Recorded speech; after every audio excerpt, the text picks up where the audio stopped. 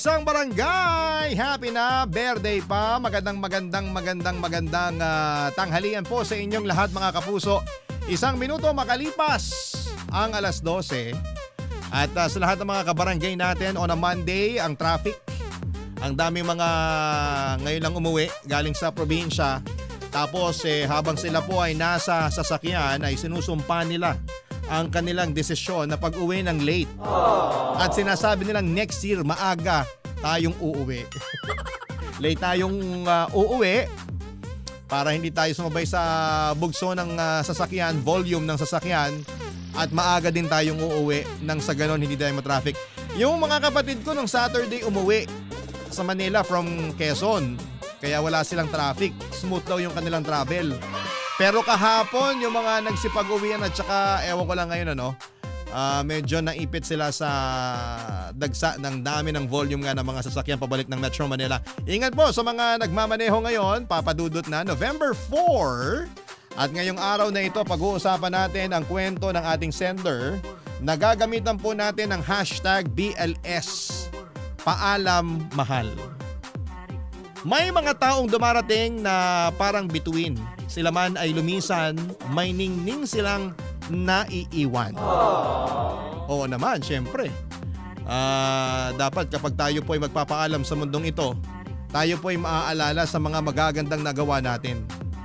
Parang lahat naman yata ng mga lumisan sa mundong ito, no? Eh, puro mga magagandang alaala lang yung nire-recall. Uh, ewan ko lang doon sa mga sobrang sama talaga ng ugali. Baka nila pinag-uusapan. Ano? Tahimik na lang tayo kasi wala tayong mapag-usapan sa kanyang maganda. Bilang respeto yan sa pumanaw. Anyway, paalam mahal ang uh, kwento ni Apollo. Uh, yan ang ating uh, pakikinggan kaya tutok lamang sa inyong official overall number 1 FM station in Mega Manila. Dito lang yan sa Barangay LS. At syempre, o nga pala, ano, gusto ko lang uh, i-announce sa inyo na kami po ay napapanood Napapanood po kami sa bayan ha, sa Facebook at sa aming TikTok.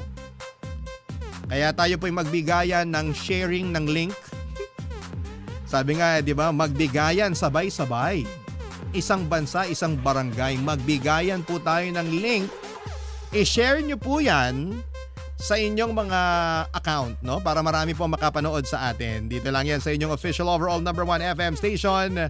Barangay LS 97.1 Forever Number 1 Barangay Love Stories Barangay Love Stories Eh bakit ka nagpupunta dito? Nangongolekta ka ba ng flyers? Hindi. Wala, nakakaya. Basta, alis na lang ako baka naabahala na kita. Hindi, sandali. Sabihin mo na. Bakit ka naman dumadaan dito kung wala ka naman palang ibang sadya? May sadya ko pero hindi yung store niyo ang sadya ko. Eh ano? Ikaw. Ang tunay na pag-ibig ay ang pagsasama ng nag-iibigan sa kanilang masasayang araw. Pero matatawag na wagas ang pag-ibig kung mas nagiging malapit sila sa mga araw ng kahirapan. Ikaw, nahanap mo na ba ang makakasama mo sa hirap at sa ginhawa? Pakinggan ang kwento ni Apollo sa Barangay Love Stories, hashtag BLS Paalam Mahal.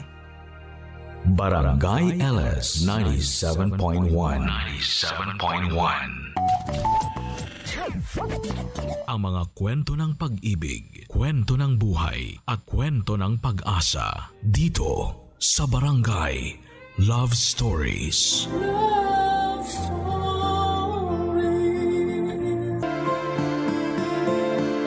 Ang tunay na pag-ibig ay ang pagsasama ng nag-iibigan sa kanilang masasayang araw pero matatawag na wagas ang pag-ibig kung mas nagiging malapit sila sa mga araw ng kahirapan. Ikaw kabarangay, nahanap mo na ba ang makakasama mo sa hirap at sa ginhawa? Dear Papa Dudut, Till death do us part. Ang laging bigkas ng mga kinakasal sa harap ng altar. Ganon din ang pangakong binibitawan namin sa isa't isa ng asawa ko noong kami kinasal. At kahit papaano ay masasabi kong napanindigan naman namin ang pangakong yon. Tawagin niyo na lamang po ako sa pangalang Apollo, 45 years old at isang insurance agent mula sa Makati. Sumulat ako sa inyo dahil gusto kong i-share ang love story namin ng asawa kong si May na hanggang kamatayan ay nagpatuloy pa rin ang pagmamahalan naming dalawa. Sa mall kami unang nagkita ni May Papadudot. Dati akong sales boy doon na ang trabaho ay ang mamigay ng flyers sa mga tao tuwing may promo ang pinagtatrabahuhan kong store. Sa dami ng mga taong nakakasalamuha ko araw-araw ay hindi ko pa noon napapansin na ilang beses na palang dumaan sa harapan ko ang aking one. Parang routine ko na kasi noon ang mamigay ng flyer sa mga taong saglit ko lamang nakikita ang mga muka kaya mabilis ko lang din silang nakakalimutan. Hanggang sa isang muka ang nanatili sa memorya ko. Si May na halos araw-araw ko noong inaabutan ng flyer nang hindi ko namamalayan. Una ko siyang napansin dahil sa suot nitong pink na headband. Kinabukasan ay nakita ko ulit ang headband na yon kaya inabangan ko ulit siya sa mga sumunod na araw. Hanggang sa napagtanto kong iisa lang ang babaeng nagmamay-ari ng pink na headband na yon. Noong muling dumaan sa store ang babae ay doon ko na siya unang kinausap, Papa Dudut.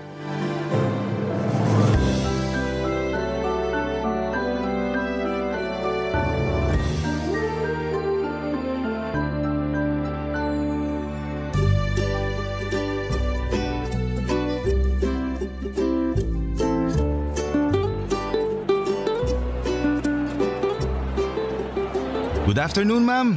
Ito po, flyer. May promo po kami this month. Baka gusto niyo po mag-avail. Salamat. Ay, teka lang. Ha? Ikaw na naman. Ano pong ibig niyong sabihin? Naalala kita eh. Ikaw yung lagi kong inaabutan ng flyer tuwing hapon. Baka po nagkakamali lang kayo. Hindi. Naalala ko yung pink mong headband eh. Dumaan ka na naman kahapon dito, di ba? Tapos nung nakarang araw din. Hindi po ako yun. Aalis na ako. Sandali lang, sandali. Hindi nga ako yun. Huwag ka matakot sa akin. Nagtatanong lang naman ako eh. Saka, wala namang masama kahit araw-araw kang kumuha ng flyers namin. Curious lang talaga ako. Hindi nga ako yun. Ang kulit. talaga ba? Kahit i-check natin yung CCTV ng store? Ha? May CCTV ba rito? Oo! Ayan oh, sa tapat ng store namin. Natutuwa lang ako sa ginagawa mo na kahit araw-araw kitang inaabutan ng flyer, kinukuha mo pa rin. Yung iba kasi, ni hindi man lang nila ako pansinin kapag nag-aabot ako sa kanila. Ang sakit kaya nun kapag hindi ka pinapansin ng mga tao. Nahihiya lang din kasi ako kapag hindi ko kinuha yung inaabot mo. So, ikaw nga yung babae kahapon sa kanong nakaraan. Sabi na eh, hindi ako nagkakamali. Naalala ko yung headband mo eh, kasi kakaiba. Pambata. um, total, nandito ka na lang din. Baka naman may time ka para explain ko tong laman ng flyers namin. Ah, okay. Hindi naman ako nagmamadali. Okay, sige. This month kasi, may promo kami. Kailan ba birthday mo? Tapos na. Tapos na ba? Sayang naman. Kapag kasi birthday mo this month, may 20% discount ka kapag bumili ka dito sa store ngayong buwan. Kasi anniversary namin. Pero huwag ka mag-alala. May 10% discount din kapag first time buyer. First time mo lang naman bumili sa amin kung sakali, no? Hindi ako mahilig sa gadgets eh. Hindi. Pero if ever lang bibili ka, ngayon ka lang din ba bibili dito sa amin? Oo, hindi pa ako nakakapasok dyan sa store nyo. Ayos! Ayun! So kung plano mong bumili ng cellphone o tablet o laptop, bumili ka na ngayong buwan kasi may discount ka. Ano palang pangalan mo? May, Ako pala si Apollo. salamat Apollo pero wala akong pambili ng tinda nyo eh. Tsaka may cellphone na ako. Hindi ko kailangan ng bagong cellphone ngayon. Ganun ba? O sige, pero kapag nangailangan ka, dito ka sa amin pumunta ha. Tutulungan kita makakuha ng discount. Okay, sige. Um, may kailangan ka pa ba? May gusto ka bang itanong? Ang totoo niyan, hindi yung ibinibenta mo ang sadya ko kung bakit ako paulit-ulit na dumadaan dito sa store nyo. Ha? Eh ano? Teka, sinasabi mo ba na sinasadya mong dumaan dito? Parang gano'n na nga. Wala naman talaga akong binibili sa mall na to eh. Eh bakit ka nagpupunta dito? Nangongolekta ka ba ng flyers?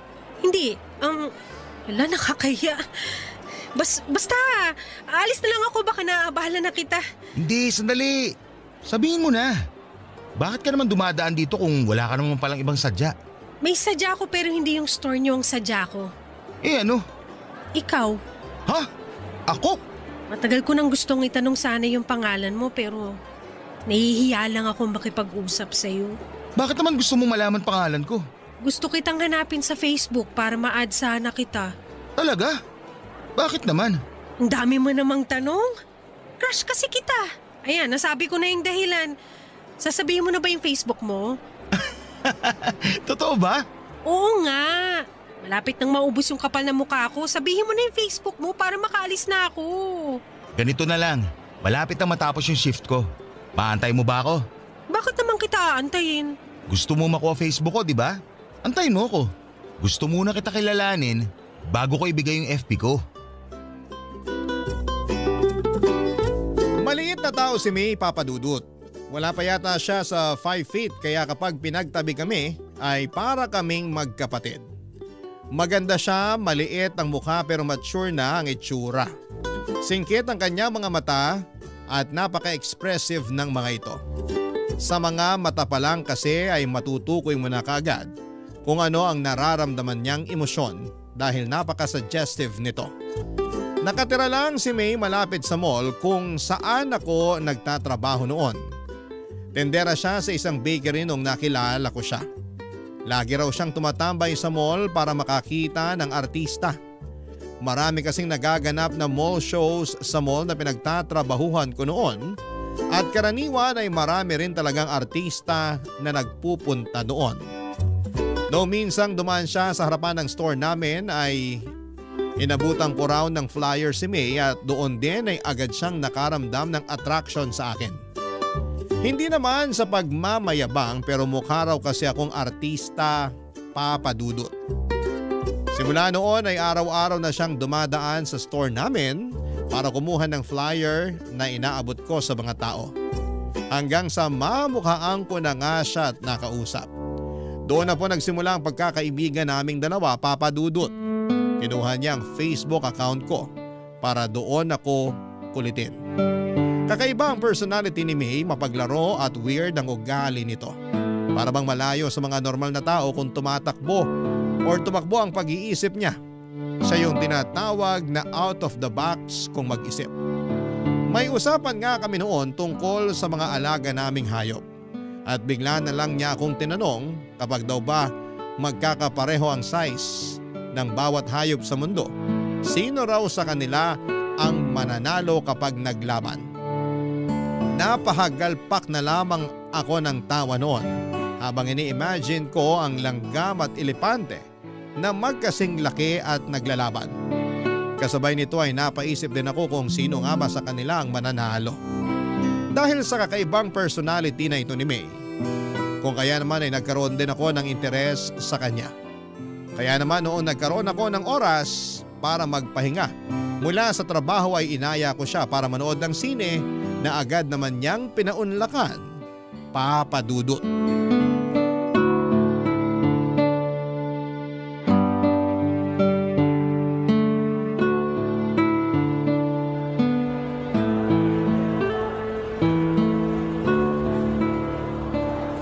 lala ng twist ng pinanood natin ah. Sabi ko sa'yo eh, yun ang killer. Ayaw mo kasing maniwala. Sino ba naman kasi mag-aakala na yung bida ang mismong buwapatay? Hindi ko yun in-expect. Ang galing ng direktor nun. Anong hindi halata? Halata nga eh. Tsaka hindi na bago yung twist na yun. Ilang beses na yung nagamit sa ibang pelikula. Talaga ba? First time ko lang makapanood ng ganun eh. Mahilig ka ba talaga manood ng mga mystery thriller? Oo! Yan ang paborito kong genre ng pelikula. Lahat na yata ng mystery na palabas na panood ko na eh. Kakaiba ka. Halos lahat ng kakilala ko mga babae. Puro love story ang gustong panoorin sa sine. Pero ikaw, mas gusto mo yung patayan. Masyado na kasing predictable yung mga love story na yan. Puro recycled yung kwento, paiba-iba lang yung artistang bida. Kung sa bagay, nakokornehan din naman ako sa mga love story. Bakit naman? Ibang-iba kasi siya sa totoong buhay. Kapag sa pelikula, parang napakadali magkaroon ng karelasyon. Parang napakagandang ma-in love. Pero ang totoo niyan, Hindi naman ganun ka-magical ang pag-ibig tulad ng sinasabi nila. At bakit mo naman niya nasabi? Magical kaya ang pag-ibig. Kapag tumibok na ang puso mo para sa isang tao, para kang nasa alapaap dahil sa saya. Sa simula lang yan. Mawawala rin yung pakiramdam na yan kapag nagsimula na yung mga problema ng pag-ibig. Tulad ng sawaan, agawan, traiduran at lokohan. Parang pinagdaanan mo yung mga yan ah. Hindi ko naman yan sasabihin ko, hindi ko pa naranasan eh. Bakit? Sino bang bumasag sa puso mo kaya ganyan ang tingin mo sa pag-ibig? Wala, wag na natin pag-usapan yon. Sige na, share mo na. Yung last girlfriend ko kasi, nakipagwalay sa akin noon. Kasi hindi niya raw nararamdaman yung spark sa pagitan naming dalawa. Tapos, natural lang naman yun. Kung hindi niya napanindigan yung pagmamahal niya sa'yo, ibig sabihin, hindi siyang para sa'yo. Parte yun ng paghahanap ng pag-ibig. Kaya nga ayoko sa mga love story na palabas dahil doon. Hindi nila ipinapakita ibang parte ng pag-ibig. Yung parte na masakit. Kasi ang mga pelikula for entertainment yan. Hindi yan ginawa para pagdusahin ng mga manonood. Masyado mo namang siniseryoso yung mga palabas sa sinihan. Mabalik tayo sa ex mo. Anong nangyari pagkatapos nun? Ayun, wala pang isang linggo. Nabalitaan ko na lang na sila na pala ng kaibigan ko. Magtutropa kasi kami tapos nung naghiwalay kami ng ex ko, sinalo siya ng kaibigan ko. Nalaman ko na lang na matagal na pala siyang inaantay ng tropa ko. Kaya nung nalaman niyang hiwalay na kami, pumila kagad siya. Ang saklap naman nun. Pero at least hindi kayo pinagsabay, di ba? Mas masakit yun. Kahit ano pa ang nangyari, ang ending, nasaktan pa rin ako. Ang puso, kailangang masaktan para maintindihan mo kung ano ba talaga ang ibig sabihin ng totoong pagmamahal. Ikaw ba? Nasubukan mo na ba masaktan? Sa pag-ibig? Hindi pa. Bakit? Siguro ikaw yung nananakit. Hindi ah. Hindi ko pa na-experience yung masaktan dahil hindi ko pa naman naranasang makipagrelasyon. Talaga? Hindi pa? Oo. Hindi ko pa naranasang magkaroon ng boyfriend. Wala ka pa naman palang nakarelasyon eh. Pero kapag magbigay ka ng payo, parang ang dami mo na experience ah. Mahilig kasi ako magbasa at saka manood kaya parang na-experience ko na rin kahit papano yung tinatawag nilang pag-ibig. Iba pa rin kapag totoong karanasan. Eh diligawan mo ko para masubukan ko na magkaroon ng boyfriend. Lo, ang prangka mo talaga kahit kailan. Hindi naman na kasi sikreto na may gusto ko sa'yo. Ikaw lang naman yung inaantay ko eh. Ay nako, tara na nga. Baka kung saan pa mapunta tong usapan na to. Kain muna tayo bago umuwi. Okay, sige.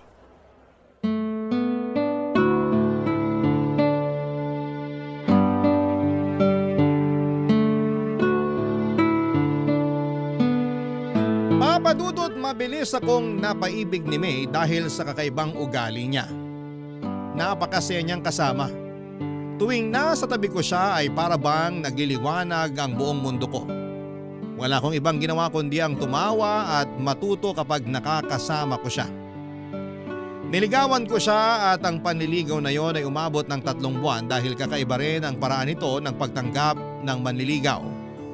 Mahilig kasi sa mga mystery games si, si May at ang kondisyon niya noong niligawan ko siya ay kailangan ko raw na magawa ang tatlong bagay na nasa checklist niya. Hindi niya sinabi kung ano-ano ang mga yon kaya natagalan bago ko siya napasagot. Sa ilang buwang pagsasama namin ni May, ang isang bagay lang ang sigurado ako sa kanya at yon ay ang kakaiba siyang mag-isip. Kaya ang ginawa ko ay gumawa ako ng mga bagay na hindi pangkaraniwan hanggang sa nakuha ko rin ang mga nasa checklist niya. Una na rito ang mag-date sa sementeryo. Naisip kong gawin yon dahil nasaktong birthday ng namayapa niyang nanay. Sinamahan ko siyang dumalaw sa sementeryo at doon din ay nagdala kami ng pagkain at nag-date. Para sa kanya, sementeryo ang isa sa mga pinakaromantikong lugar na pwedeng puntahan ng magkasintahan dahil bukod sa tahimik ay ipapaalala lamang nito sa dalawang nagmamahalan kung gaano kaikli at kaimportante ang buhay para lang paglaruan nito. Medyo dark pero may punto naman siya papadudot. Pangalawa ay ang mag-joyride pero sa tren. Sumakay kami sa last trip ng MRT mula noong mula sa North Avenue papunta sa Taft at sabay naming sabay naming uh, binilang ang bawat landmark na aming nalampasan. Ang pangatlo naman, ang bagay na hindi ko makakalimutang ginawa ko para kay May ay noong sabay kaming nagpatato kay Apo Wangod. Noong isinama kami ng kamag-anak ko mula sa abroad na magsagada. Pagkatapos noon sa mismong harapan Four F.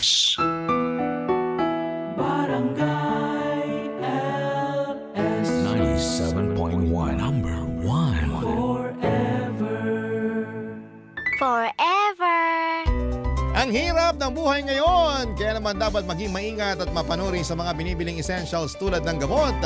Para makasiguradong dekalidad ng gamot, huwag mahihiyang magtanong sino ang gumawa ng gamot. Kilala ba ang kumpanya na gumawa nito at dumaan ba ito sa quality checks? Na kailangan para masiguro na ligtas ang gamot. Sa bawat karamdaman gusto natin na gumaling tayo, kaya importante na siguraduhing dekalidad ang iinumin na gamot. Huwag mahiyang magtanong sa doktor at butika para malaman kung ano ang abot kaya at dekalidad ng gamot. Hanapin po ang gamot na siguradong dumaan sa quality checks. Hanapin ang check ng right med and if symptoms persist, consult your doctor. Isang bansa, isang barangay. Hi, Jowa! Bawal makipag-break, ha? Magpapasko na! Happy na! Ready ba? Mali, kumukuhit. Di tulad ng Red Horse Beer. Suabe, di kailangan ng halo. Lakas ng tama pero di wasak. Red Horse Extra Strong. The number one beer. Ito. Drink responsibly. Balik-balik ka ng suabing astig. Tamang astig. Lakas ng tama pero di wasak. Red Horse Beer. Drink responsibly. Ang lamig! Tika, yakapin kita. Sarap ng feeling. Everest Air Conditioner. Han, ano ever best place mo in the world? Siyempre, right here with you. Everest Air Conditioners. Clean, healthy air. Energy saving. Ever best from Everest. Everest Appliances. Health, wellness, energy saving from Everest Appliances. Tagasan ka? Taga Fairview! Tagasan ka? Taga Barangay LS! Donnie Pangilinan here. With Anthony. Dad, what's your love language? Connecting eye to eye. Eh pag lumabo mata. EO. EO Executive Optical. Expert eye care. State-of-the-art facilities. Eye to eye. You mean titig kilig? Yun! EO Executive Optical. Love your eyes, guys. EO Executive Optical. For expert eye care, come to EO Executive Optical. EO Executive Optical. Love your eyes. Pag crispy pata ang ulam ni Bunso, masakit daw sa ngipin.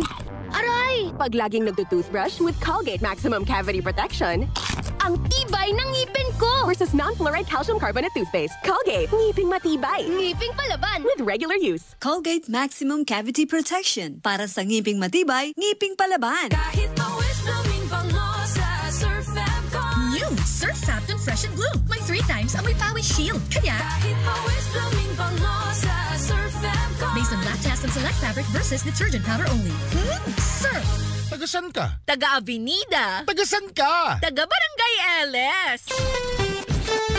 Happy Puting Pasko from Surf! Surf puti-putita. Two minutes lang, instant puti na. Surf instant bango. Surf instant puti. Based on internal technical tests and cotton after one wash. Results may vary. Surf puti-putita. Buong pamilya ko. Surf! Promise, babe, hindi ka mabibitin. With Bet88, hindi ka mabibitin sa laro. Secure at napakaraming payment options for fast cash in and out ng panalo mo. Ibang swerte to. Bet88.ph Gaming for 21 years old and above only. Keep it fun. Game responsibly. Be one of our daily big winners. Sign up and play online casino, e-bingo, and sports betting at bet88.ph. Bet88, ibang swerte to. Barangay LS 97.1 Number 1 Number 1 Number 1 Sa Mega Manila. Barangay LS Forever. Number 1 Forever. Ang karugtong na mga kwento ng buhay sa Barangay Love Stories.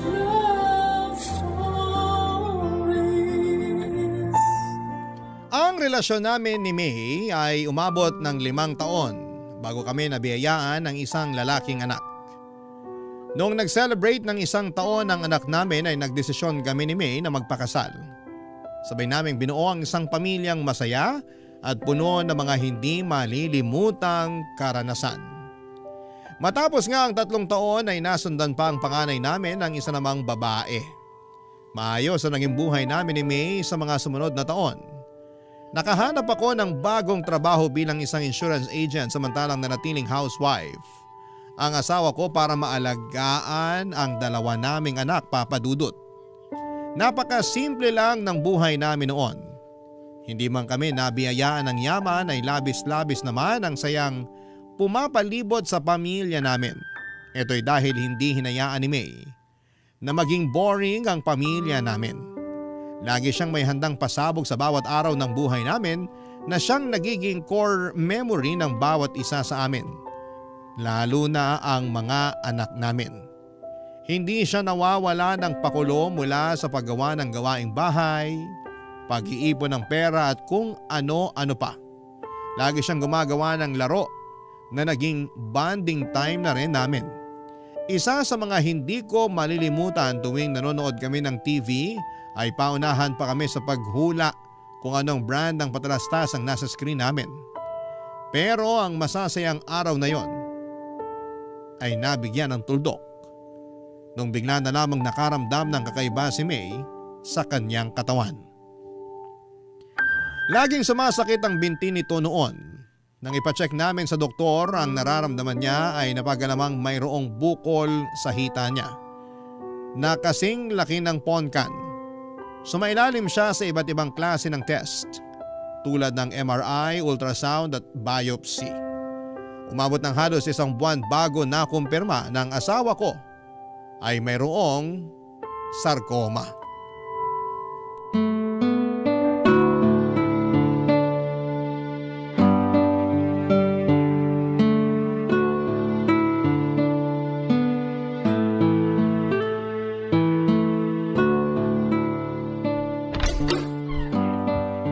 Mahal, nandito na ako. Maaga ka umuwi ngayon ah. Oo, wala akong masyadong nakasabay mag-commute. Ewan ko ba? Sana ganun lagi para maaga ako nakakauwi. Nasaan pala yung mga bata? Tulog sila pareho. Halika rito, tabihan mo ako, may ipapagawa ako sa'yo. Ano yun? Ito, oh, ginawan kita ng word search puzzle. Hmm, word search? Oo, bilugan mo yung mga salitang mahahanap mo rito. Para saan naman to? Basta, may limang salita akong nilagay dyan. Okay, wala bang clue? Ano mga salita yung hanapin ko? Mga medical term. Medical term? Hmm, okay. Ayun, malignant, tama ba? Tama, apat pa. Ano pa ba? Hindi ako maalam sa mga medical-medical na to eh. Ito, tama ba to? Biop... Biopsy! Galing! Tatlo pa, dalingan mo! Para saan ba kasi to? Basta, kapag nahanap mo na lahat yung words, may babalita ako sa'yo. O sige. Ayun! Therapy. Ayun pa! Tumor! Isa na lang. Hmm, nasan pa ba? Bar... Ah, hindi, mali. Ka... Nahanap ko na yung huli! Cancer! Congrats! ano namang kinalaman ito sa ibabalita mo sa akin? Ano ba yung mga nahanap mong salita? Cancer, tumor, therapy, malignant, tapos biopsy. Hmm. Teka, dumating na ba yung mga test mo sa ospital? Oo. Nagkausap na kami ng doktor ko kanina. Confirmed. Ang alin? Yung mga binilugan mong salita, yan yung sakit ko. Cancer. Uh, ano? Pinaglaro mo ako para lang sabihin may cancer ka? Pinaglolo ko mo ba ako, May? Ang boring naman kasi kapag sinabi ko lang sa'yo ng diretsahan. Mas maganda yung may thrill para surprise. Sa tingin mo, nakakatuwa itong ginagawa mo? Buhay ito pinag-uusapan natin. Magseryoso ka naman kahit ngayon lang. Hindi lahat pwedeng gawing laro. May cancer na nga ako, pinapagalitan mo pa ako. Sorry. Ikaw kasi. Anong, anong sabi ng doktor? Anong klaseng cancer? Anong stage? Sarcoma. Ano yun? Anong klaseng cancer yun? Hindi ko maalala yung sinabi ng doktor. Parang, parang cancer sa buto at sa tissue. Parang ganun. Buong katawan. Kailangan ko raw ng treatment para maagapan yung pagkalat ng cancer. Kailan ka magsisimula? Wala pang date. Sinabi ko kay Doc na kakausapin muna kita tungkol dito. Magpa-treatment ka na. Huwag na natin patagalin to. Pero kakayanin ba natin yung gastos? Huwag mo nang problemahin yan. Ako nang bahala sa gastos. Magagawan ko yan ng paraan. Hindi ba mas makakabuting mamatay na lang kaysa idamay ko pa kayo sa problemang to? Anong pinagsasabi mo? Ang pera, nahanap yan. Ang buhay, hindi na yan napapalitan. Mas gusto ko na lang na malubog sa utang kaysa mamatay kami. Tandaan mo yan. Oo, nagagalit ka na naman. Ayoko lang na ganyan ang iniisip mo. Walang mabuting maidudulot ang pagkamatay mo. Kaya labanan mo yung sakit mo. Para sa mga anak natin at para sa akin. Sige, oo, lalaban ako. Magpapagamot ako. Alam na ba to ng mama mo? Ikaw pa lang ang pinagsabihan ko. Tatawag ako kay mama mamaya baka sakaling makahiram din tayo sa kanya ng panggastos. Kakausapin ko rin yung mga kapatid ko tungkol dyan. Basta ang mahalaga ngayon, magsimula ka na sa treatment mo. Papadudot lumaban si May at ginawa ko ang lahat para matustusan ang mga gastusin para sa treatment niya. Nag-apply ako sa mga loans at naghanap ng sideline para mabayaran ang mga hospital bills ni May.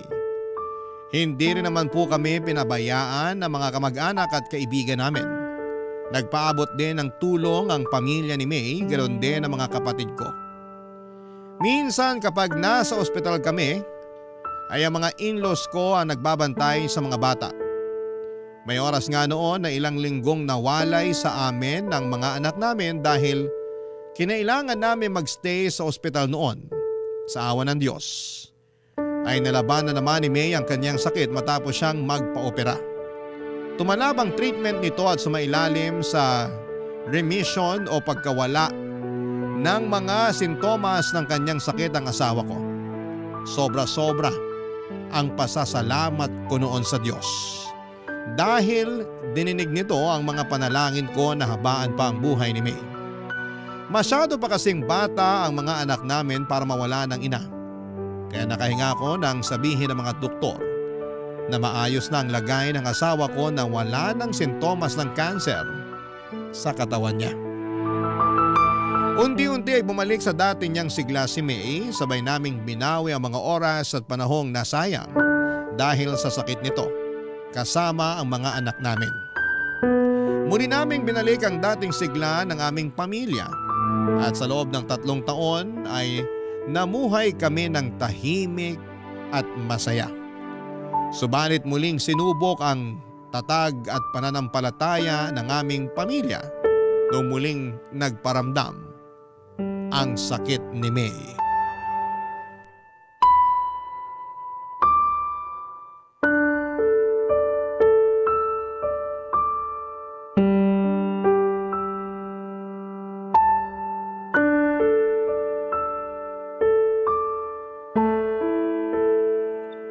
So paano ngayon yan?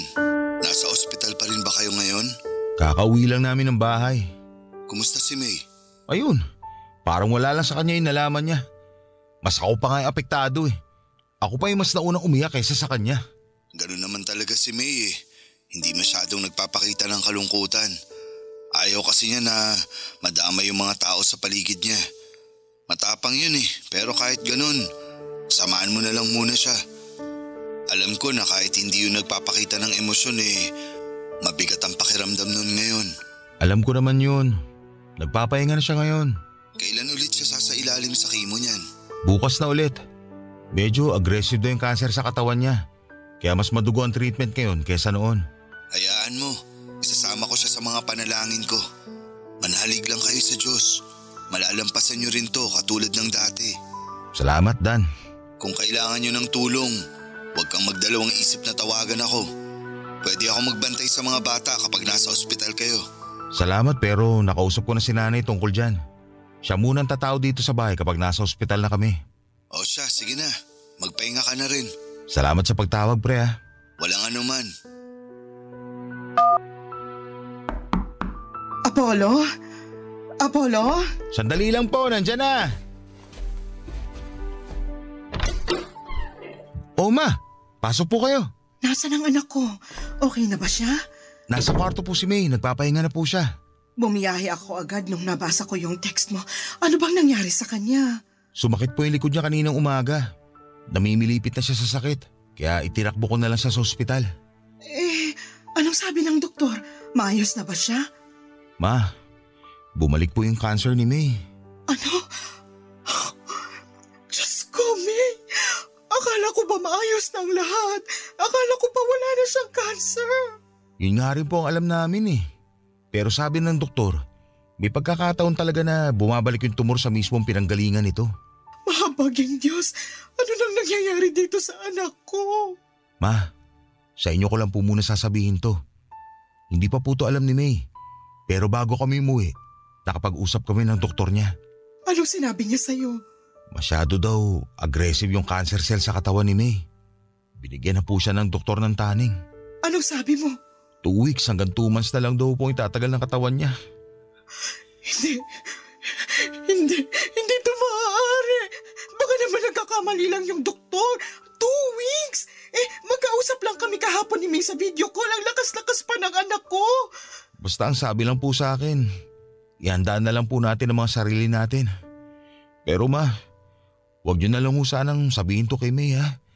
Ayokong mapanghinaan siya ng loob. Diyos ko.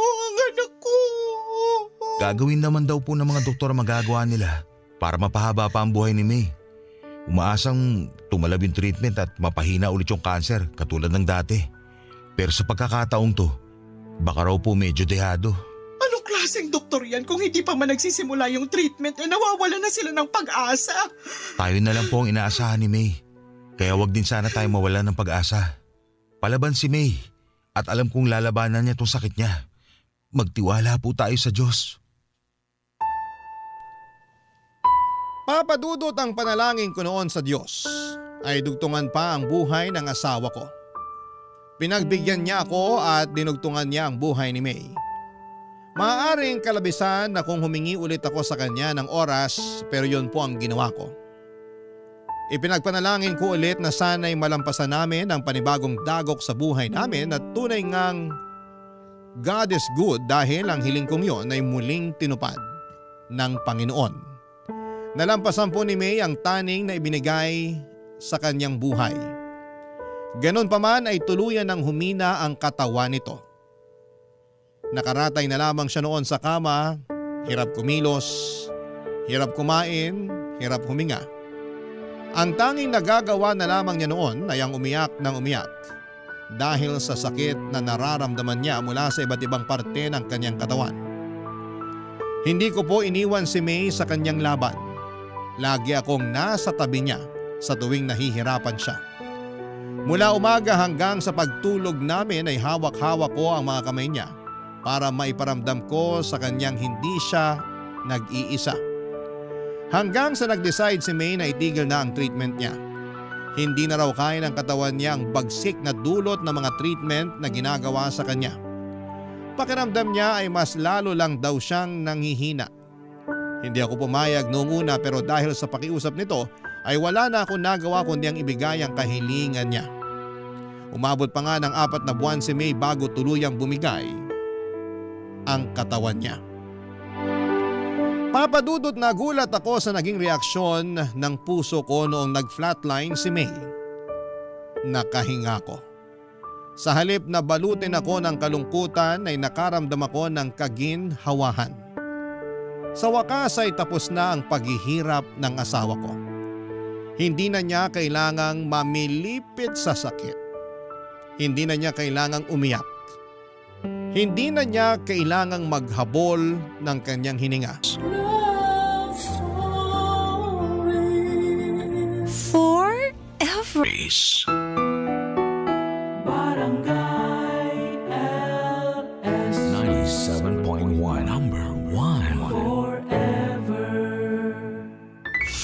Forever Yay! Konti na lang! Tapos na tong school project ko! Today pala deadline nito! Lagot! Bakit nga ba ako pumasok dito sa kusina? Ano nga ba kukunin ko? Nako po! Ha? Incorrect password? ano nga ba yung password ko? Ano nga ba? Memo Plus Gold with Bacopa Monnieri Extract. Iba ang Brainy Good.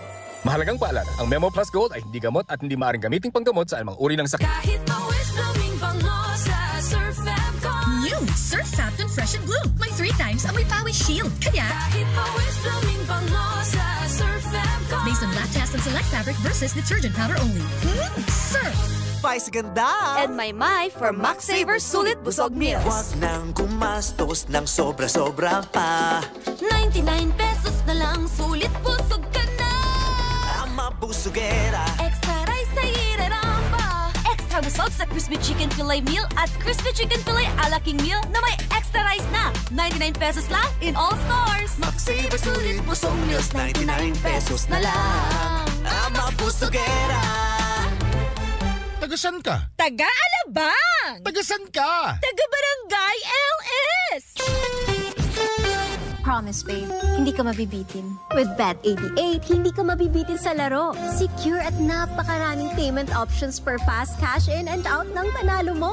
Ibang swerte to. Bet88.ph Gaming for 21 years old and above only. Keep it fun. Game responsibly. Be one of our daily big winners. Sign up and play online casino, e-bingo, and sports betting at bet88.ph. Bet88, ibang swerte to. B-I-N-B-I-N-I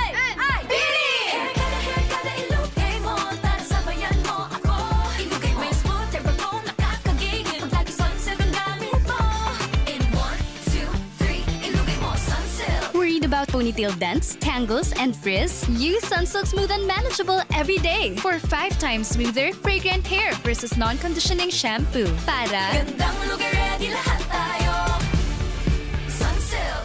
Yo, it's the saint himself, Dwight Ramos. Hey yo, Jeremiah, what are you having?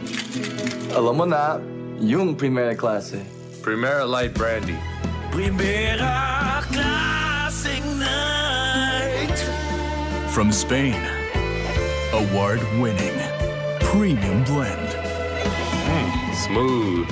Now this is our Primera Classic Brandy. Primera Light Brandy. Dahil Primera Classica. Drink responsibly. Primera Light Brandy. Mag Primera Light Brandy na dahil Primera Klasika. Mga kapuso, ganap na oras, pitong minuto makalipas ang alauna. This time check was brought to you by United Home C-Tab. Basta C, C-Tab. Abot kayang vitamin C na gawang Unilab.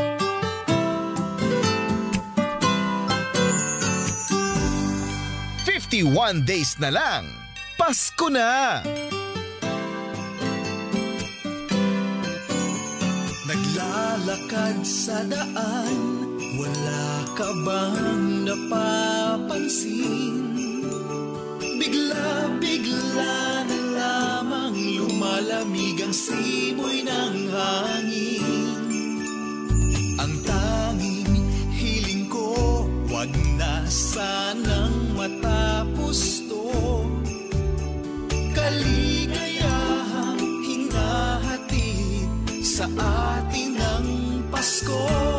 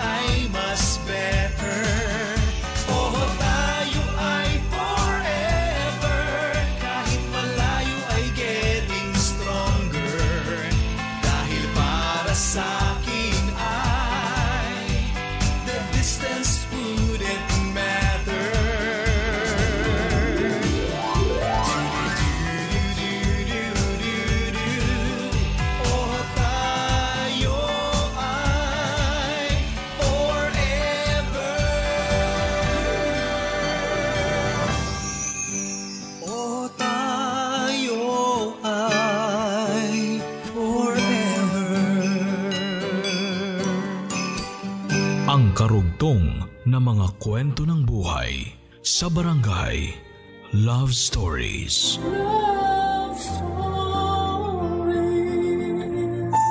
Papadudot ang isa sa mga pinakamahirap na parte ng pagluluksa ay ang pagharap sa katotohanan.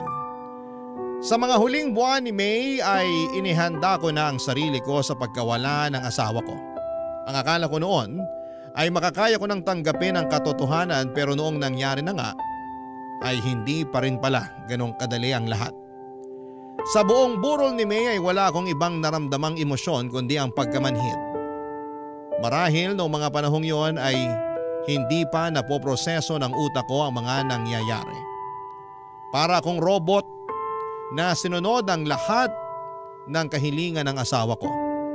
Isang listahan kasi ang ginawa niya na kailangan kong sundin kapag namatay siya. Siya ang namili ng kulay ng makeup na isusuot sa kanya. Pati damit at kulay ng kabaong ay pinagplanuhan din niya. Gusto niyang paglamayan namin siya ng isang linggo bago siya i-cremate. At kapag abo na lamang siya ay ako raw mismo dapat ang magpapakalat ng mga abo niya sa lugar kung saan niya ako sinagot. Walang iba kundi sa Sagada.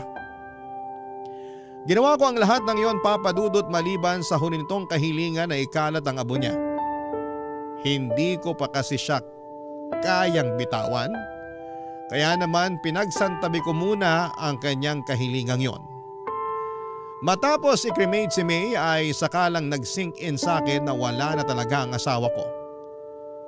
Hindi na niya maisusuot ang paborito niyang damit.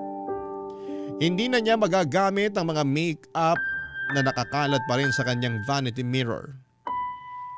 Hindi na niya matatapos ang librong binabasa niya na nooy tatlong chapters na lamang ang natitira. Wala na ang asawa ko. Isa yung katotohanan na nahirapan akong tanggapin. Gabi-gabi akong umiiyak sa CR papadudot habang pilit na tinatago ang nararamdaman kong kalungkutan mula sa mga anak ko. Para bang naging routine ko na ang tumambay sa CR habang binabalikan ang mga masasayang ala-ala namin ni May. Isang gabi habang nakatambay ako sa CR at inaalala ang mga old pictures namin ng asawa ko ay bigla akong tinawagan ng kaibigan kong si Dan, Papa Dudut.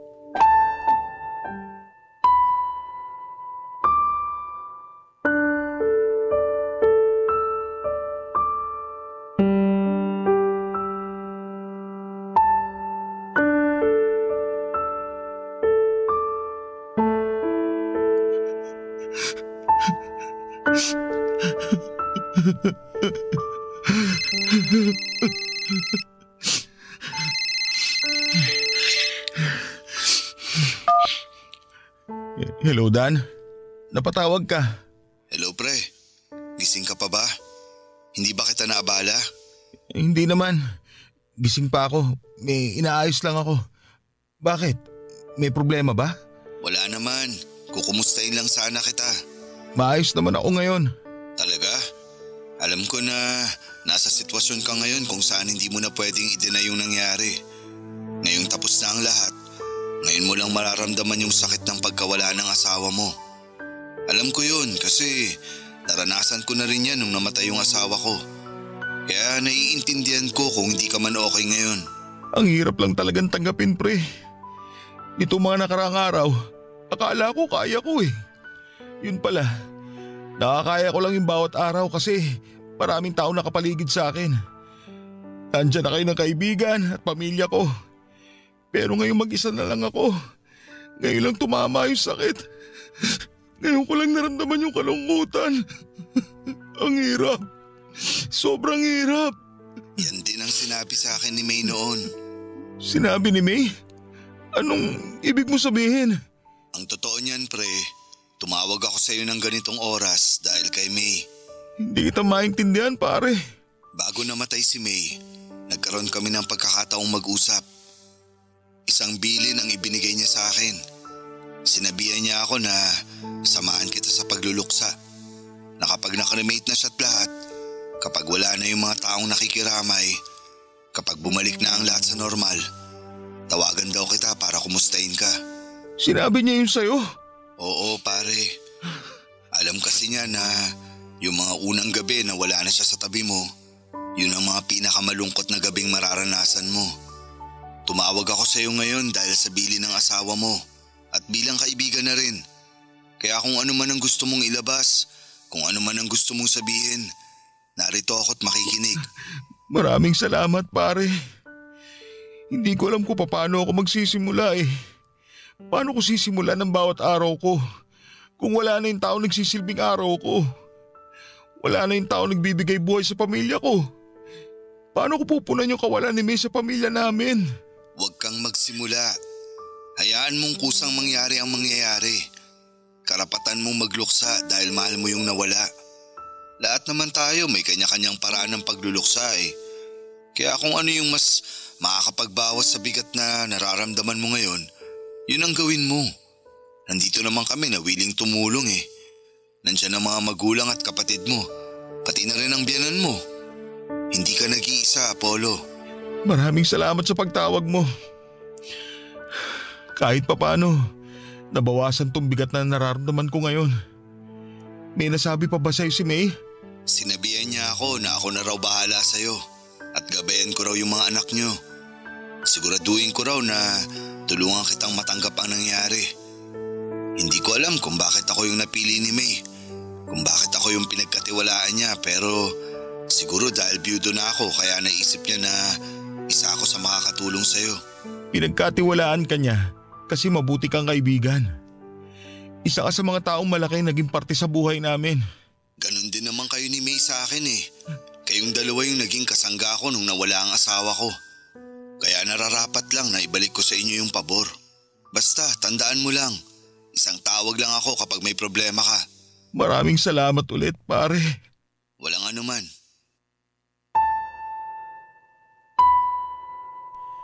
Nagulat ako papadudot na kahit nawala na si May, ay nagawa pa rin pala niyang magplano para sa hinaharap. Hindi ko lubos maisip na kahit nasa kalagitnaan na ng paghihirap si May, ako pa rin ang iniisip niya.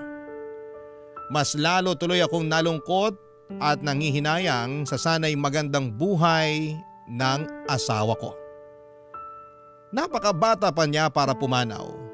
Marami pa siyang pwedeng mapasaya sa buhay kaya sobra akong nasayangan sa sanay buhay na pwede pa nitong maranasan.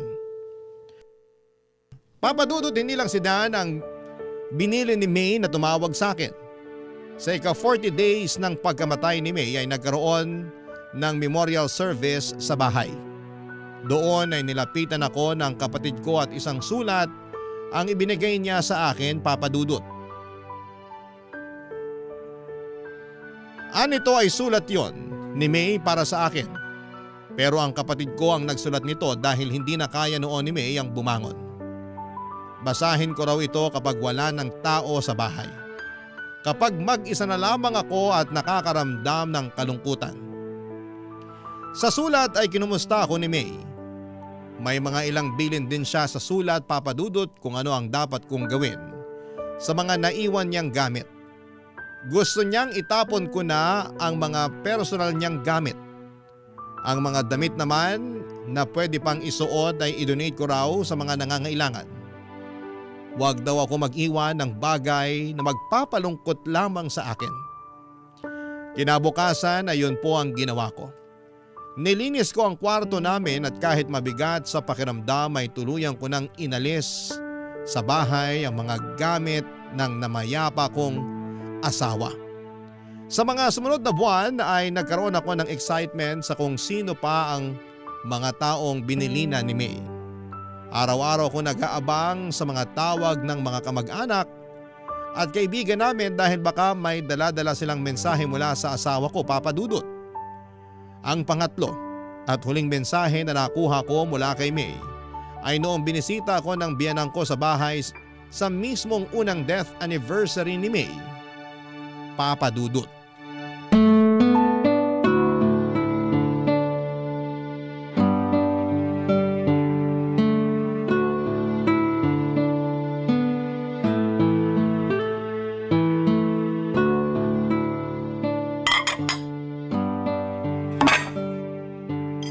Ma, ako na po dyan. Hindi na, ako na magliligpit dito.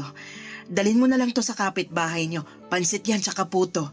Sayang din kapag hindi naubos, wala namang iba ng kakain. Maliban na lang kung may darating ka pang bisita. Wala na pong darating. O siya, itong itinabi kong ulam, ulamin nyo na lang bukas. Sige po. Nakakapagod tong araw na to. Alam mo ba, simula alas 4 nagluluto na ako. Sabi ko naman po kasi sa inyo, ma. Mag-order na lang po tayo para hindi kayo mapagod. Hindi pwede. Kapag nag-order tayo, para na rin nating ininsulto si May. Dapat bigyan pa rin natin siya ng oras kahit na sa paghahanda lang ng anibersaryo ng pagkamatay niya. Alalahanin natin siya sa pamamagitan ng pagkaing inihanda natin para sa kanya mismo. Salamat po pala sa pag-prepare ng handa ngayon. Walang anuman. Nasabi na sa akin niya ni May bago pa siya pumanaw. Binili na niya ako na pagsapit daw ng death anniversary niya, ako raw ang magluto ng handa dahil hindi ka raw marunong magluto. Binili na niya rin po kayo? Oo. Nung hinatid mo yung anak mo sa eskwela noon, ako yung naiwan na nagbantay kay May. Nag-usap kami tungkol sa buhay-buhay tapos nabanggit niya na natatakot siyang mamatay. Hindi dahil mawawala na siya sa mundong to kundi dahil maiiwan niya kayong mag-aama niya. Paano na lang daw kapag may handaan? Sino na raw ang magluluto? Tapos napag-usapan namin, yun nga, tungkol sa death anniversary niya na samahan kita kasi alam niya na hindi ka marunong maghanda sa mga ganitong klaseng okasyon. Kahit kailan talaga. Kahit wala na siya rito. Kami pa rin ang inaalala ni May. Ay, ganun talaga yung batang yon. Mas iniisip niya yung kapakanan ng iba kaysa sa kanya. Bago pala siya pumanaw, may iniwan si May para sa'yo. May iniwan po siya? Ano po yun? May nirecord siya para sa'yo. Sabi niya, iparinig ko raw to sa'yo sa first anniversary ng kamatayan niya. Nasaan po? Ay, teka, nandito sa cellphone ko eh. Tulungan mo nga akong hanapin, nasa recording yun eh. Amin na po. Ako na ang titingin. Hmm. Ayan yung cellphone ko. Hanapin mo na lang. 556655 ang passcode. Sige po. 556655. Tapos sa recording po, no? Oo, may ang nakalagay na pangalan. Ayun po. Nakita ko na. Play ko na po. Sige, play mo na. Hello, mahal. Isang taon na ba ang lumipas? Ang bilis naman. Parang kailan lang nung nawala ako ah.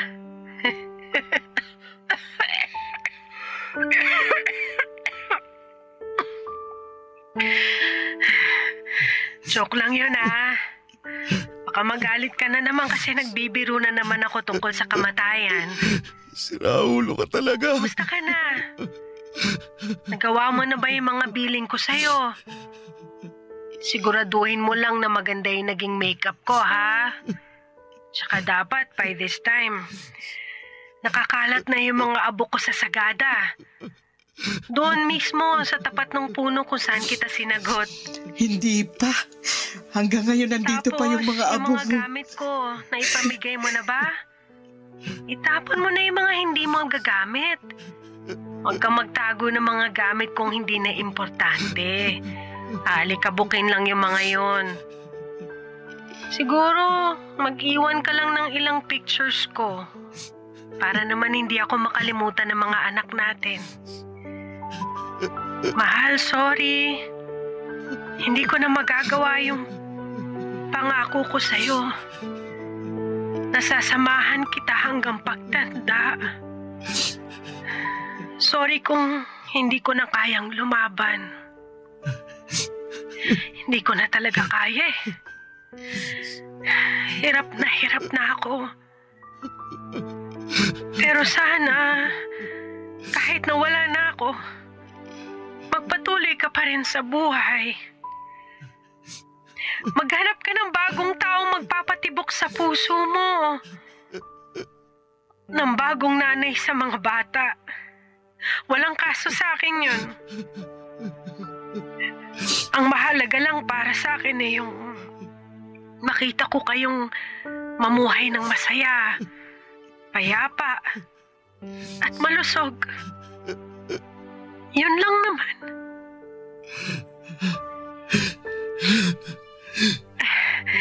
Ito na yung huling habiling ko sa'yo. Ikaw nang bahala sa mga bata, ha? Paalam, mahal ko. Paalam, mahal.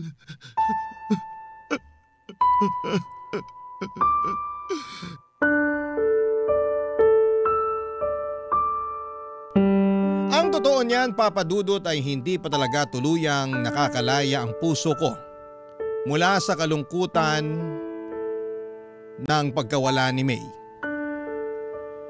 Hindi pa rin talaga siya kayang pakawalan kahit na matagal na siyang namayapa. Araw-araw ay pumapasok pa rin siya sa isipan ko. Dumating nga noon sa puntong gumagawa pa ako ng senaryo sa utak ko bago ako matulog kung saan ay masayang nagsasama ang buo naming pamilya. Yun na lang kasi ang tanging paraan para mawala ang pagkalumbay ng puso ko. Pero tama ang mga sinabi ni May mula sa recording na ginawa niya. Isang taon na ang lumipas at kailangan ko na siyang pakawalan. Hindi pwedeng lagi na lamang akong nakasilip sa nakaraan papadudot. Kailangan kong harapin at tanggapin ang kinabukasan na wala na si May para na rin sa mga anak namin. Unti-unti ay sinanay ko ang sarili ko na wala ng May sa tabi ko. Ginawa ko ang lahat bilang single parent para mabigyan ng magandang kinabukasan ang mga anak ko. Nung nakahinga na ang puso ko ay dinala ko ang mga bata sa Sagada at doon ay ikinalat namin ang mga abo ni May. Papadudot hindi na po ako nakapag-asawa pang muli at sapat na sa akin ang dalawang anak namin ni May. Hindi man kami buo ay masaya at kontento naman ang pamilya namin. Hindi ko na kailangan ng bagong pag-ibig pa dahil buo ang puso ko sa pagkakaroon ng dalawang anak. Ngayon ay kailangan ko na lamang gampanan ang trabaho ko bilang magulang sa kanila sa pamamagitan ng mga natutunan ko sa dati kong asawa. Masasayang mga araw na kasama kita Paglalambing at kulit mo na hindi nakakasawa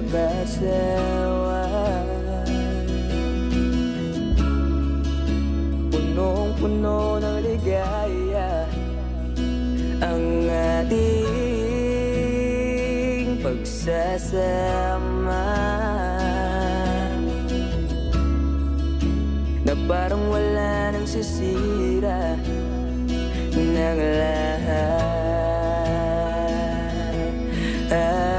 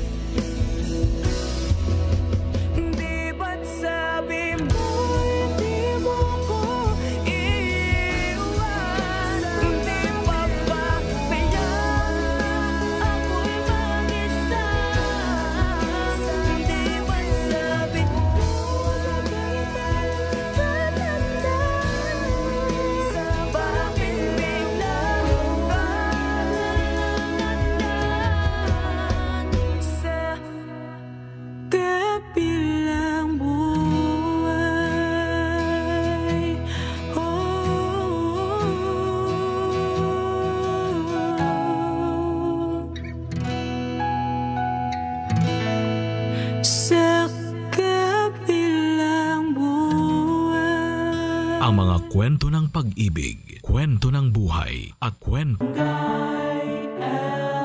97.1 Number 1 Forever. Ang galing! Pang matagalan. Parang tayo lang, Han. no? Everest Appliances. Babe, ano ever best decision mo in life? Siyempre, building a home with you. Everest Appliances. Help